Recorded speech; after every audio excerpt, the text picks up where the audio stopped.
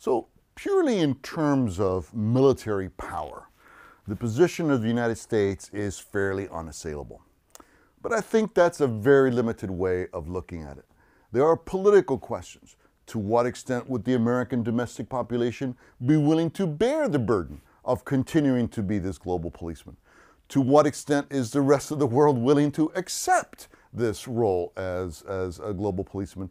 And what kinds of actions can they take about it? Here, when we're looking at the continued preponderance or military terms of the United States, we really have to move. Uh, the military part of it is the easy part. The political part is where it becomes much more important. That's what I urge you all to be thinking about. What would be the political, in a sense, challenges to the continuation of this, uh, the, this order? And I want to suggest a couple. One is the states breaking apart. That is, that this this global system that is maintained by uh, the, the American military may not, be defeated, may not be defeated militarily, but it may simply be impotent to maintain the kind of order that this globalization uh, uh is about. I want to argue that the most likely source of semi military conflict is not between states, but within states. Uh, Martin van Creveld has written that it is the fracturation of authority that is critical in the 21st century. We have seen this process over at least two millennia, certainly in the West, of increasing aggregation of power, of increasing, uh, uh, increasing control, in, increased territory, increased resources. What we might be seeing in the 21st century is a shift back, a disaggregation of power, where power or military power or destructive capacity, however you want to call it, becomes in a sense much more fractured. Uh, less there's less possibility of anyone being able to control it because it's not very clear who holds it. This is in a sense is a return, if you will, to a medieval politics where the monopoly of weapons uh, uh, of destruction or the means of destruction is no longer guaranteed even to the supreme uh, uh, uh power that we get so many challenges, in a sense, to this power that it is militarily impossible to respond to that. And let's look at the breakup of states, which is arguably, so far anyway, in the 21st century, the most important uh, military or geopolitical uh, uh, uh, uh trend. Let's begin with a tour of the world again. Certainly, the United States and Canada, uh, uh, despite the fears of a Quebecois separatism, etc., we don't have to worry about that. But certainly, below the border is a very different issue. Since 2006, Mexico has lost anywhere between 60,000 and some argue up to 130,000 people because of the narco wars the capacity of the Mexican government to impose its hegemony over large parts of its own territory have been severely, severely challenged. We have even a worse situation in most of Central America, where Guatemala, Honduras, and El Salvador are living with a massive amounts of what we might call criminal violence, or we might call it's not non-political because behind those criminal groups there are often many many uh, powerful political groups but it is not it is not violence that is being exercised by a state necessarily but by challengers to the very authority of the state and what's interesting here, it's not challengers to the authority of the state that seek to replace that authority, but rather that want to uh, finish this process of disaggregation and remove the state as a major player. We continue with this in South America. Certainly in the case of Colombia, although the situation has changed over the last five or 10 years, we had a serious threat to the monopoly over the means of violence uh, of the Colombian government. And in still parts of the country, the Colombian government certainly does not exercise that monopoly of, of, of violence. We had a similar situation in, in Peru. And again, while that has uh, been uh, reduced, that possibility of non control over territory uh, remains very important. In Brazil is the case that, uh, in a sense, exemplifies this. And here we're not talking about control over massive amounts of territory, but the ability of the central government to impose its control over its own cities. We have large parts of South American cities and certainly uh, also Central American cities that are essentially no go zones for large parts of the police or even uh, for, for the military. So here what we're seeing is a threat to this kind of political order that comes not from external or even internal challenges to that authority that seek to replace it, but simply from a fracturation of this power and the incapacity of any single uh, government to impose its authority on all its territory. Again, a refeudalization, if you will. Where is this coming from? Large amounts of inequality certainly are a big part of it. Uh, low amounts of state capacity are another part of it. Uh, and this is a pattern that we're going to see throughout the developing world, where in a sense you have created societies that may not have the organic cohesion in terms of social equality or in terms of the imposition of authority that is needed to maintain uh, a, a, a, solid states. And again, remember that the major theater of war, that the Western way of war, is based on this state. Without this state, we're looking at a very different kind of conflict. How about in other parts of the world? Certainly in Africa, this has been a major element since the, the, the since independence. In fact, we, we have seen the political map be transformed because of the incapacity of some states to maintain uh, their absolute control. Whether we're talking about South Sudan or we're talking about Eritrea, for example, very few of the countries, certainly in sub-Saharan Africa, can claim that they have true control over their, their territory.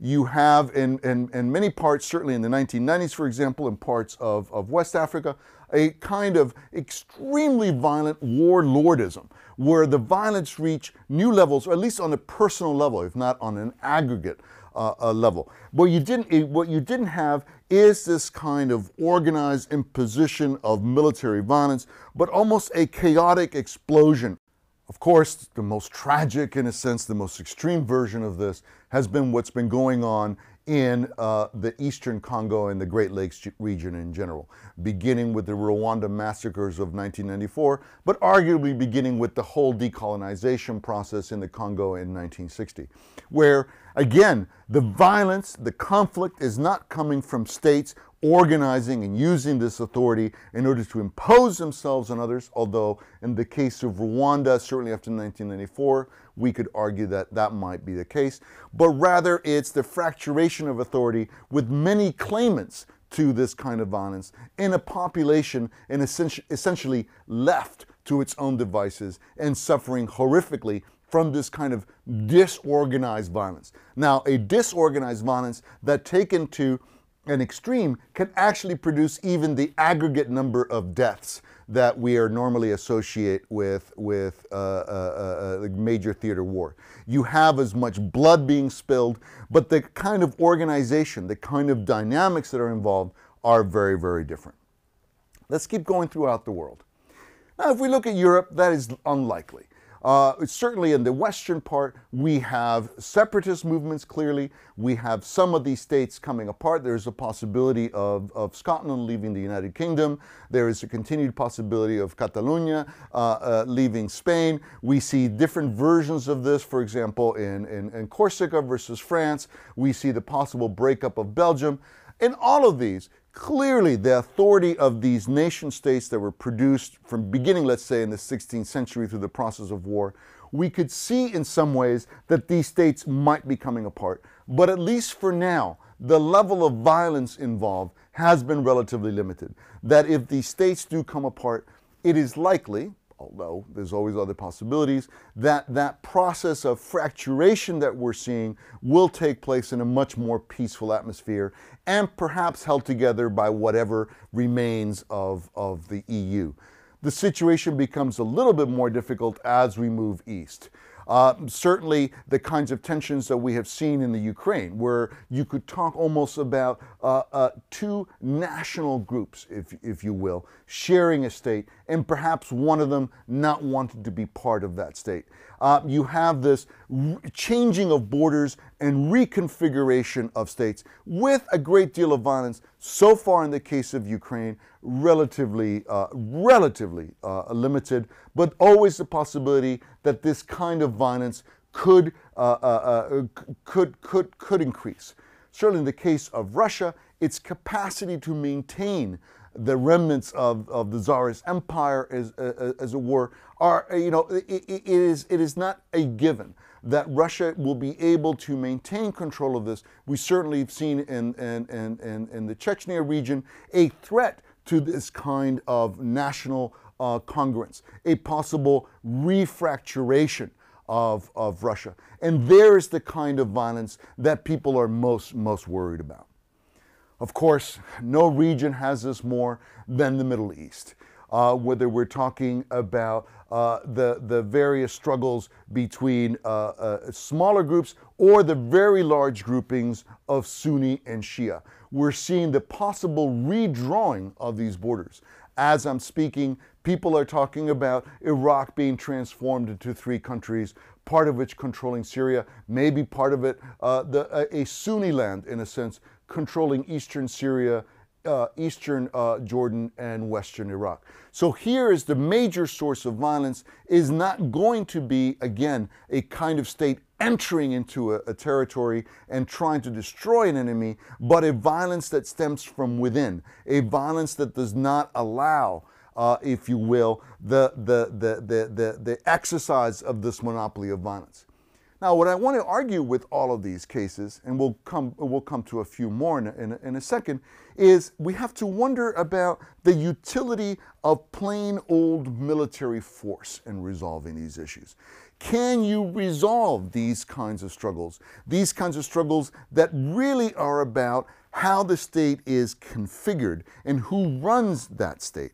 Can you resolve these kinds of struggles militarily? The case of Syria is interesting.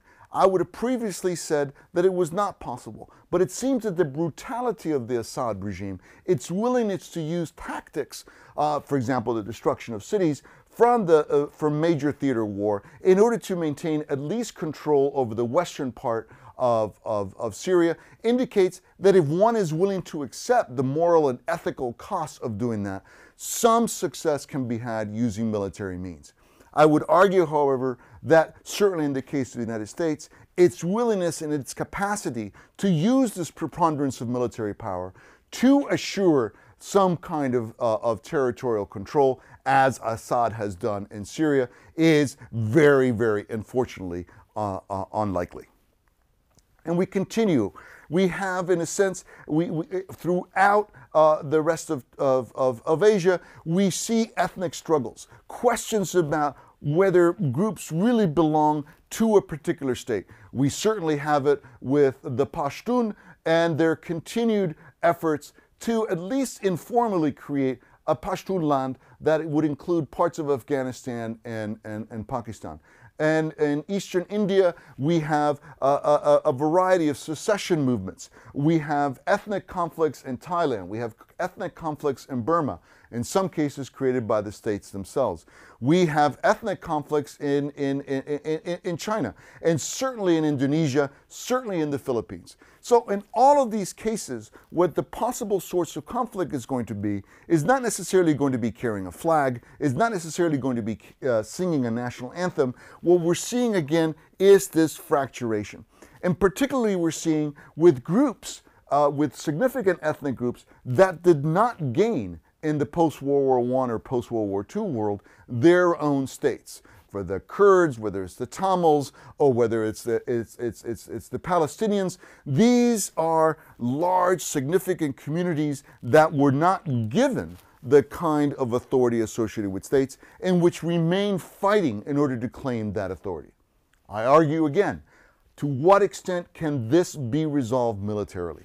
To what extent can military power, the raw exercise of violence, actually provide a solution to this. And I want to argue that it is very, very unlikely. Unless one, again, was willing to use levels of violence against civilians, levels of violence against societies that would be unprecedented and, I suspect, completely and unacceptable to any kind of domestic audience. This is an important point.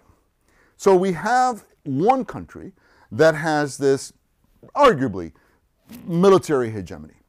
Yet I want to I want to say that the kinds of political problems that the that the world might face in the 21st century uh, might not be that military authority may not be relevant to resolve them. That military authority may be able to defeat any other claimant to a global power. That military authority may be able to defeat anyone else trying to penetrate that global uh, power. But can it really be used in order to assure this uh, the, the continuation of the state system as we have it? Can it really be can it, can it really be used to assure the maintenance of this kind of authority and this kind of monopoly? And the case that brings this most to mind is, of course, terrorism. Uh, terrorism strikes at the very strength of modern society. We live in a global connected world. This is a map of the airline traffic across, uh, uh, uh, uh, across a year. Again, these maps are available in the, the site that I told you about, Mapping Globalization at Princeton. So no part of the world, in a sense, is autarkic anymore. Of course, by the way, do notice the inequality in this distribution, that if you basically talk about a global south, it is largely, uh, uh, it, it, it, certainly has an unequal link with the rest of the world and with, with itself. Nevertheless, we live in this interconnected world, and terror can attack these kinds of, of, of, of connection. These open borders, these technological dependence, means that the, the, the military struggle is no longer just about suppressing an enemy. It is not going to be about defeating and destroying an enemy, but policing this very complex set of links. Here's a map of shipping lanes. So any kind of assault, let's say, or terror assault on Gibraltar, the Suez, the Straits of Hormuz, the Straits of, uh, of, of Malacca, the Panama Canal. These are choke points, in a sense, in a, a, a, global system, and a global system that is dependent on it continuing to function. Let me just show you the example of uh, food and, and, and, and, and, and, and oil. Here are the major transfers of uh, cereals in the world. And we see that large parts of the world cannot feed themselves. Certainly, that is the case in, in the Middle East. That is the case in, uh, uh, for Japan. That is partly the case uh, for, for Indonesia. Increasingly, it might be the case for, for, for China. So, the maintenance of these kinds of flows that depend on the complexities of globalization, to what extent can the standard Western way of war, of military power, be used to assure that these continued flows? Is it really relevant for this? Is it really relevant, again, for the flow of gas and for oil, which is even more complicated uh, than, than in the case of, of food? Can military power assure that all these pipes are working? If that is the ultimate end of any kind of political authority in the world, how relevant is military power that we have discussed? How relevant is military might as we have discussed it? Uh, uh, uh, uh, how relevant is it to this new world? Now, I want you to think about this. Here we have a whole set of institutions that I have argued were the nation state, citizenship, democracy in some ways, which are associated with this exercise of military might. We have a whole set of global inequalities and global structures that have been built by this, uh, this military might, certainly over the last 500 years. But now this military might may no longer be as relevant as it once was. That those who possess this military might and in whose interest perhaps the maintenance of these flows will continue may not have the capacity, may not have the domestic political will, may not have uh, uh, uh the, the need to impose this. So we're dealing with a world of perhaps uh, disaggregated war of perhaps, perhaps fewer aggregate deaths, although that is uh, questionable, but we're dealing with a world of perhaps greater and ever greater violence, but one in which the standard resolution for that violence, military power, may no longer be relevant.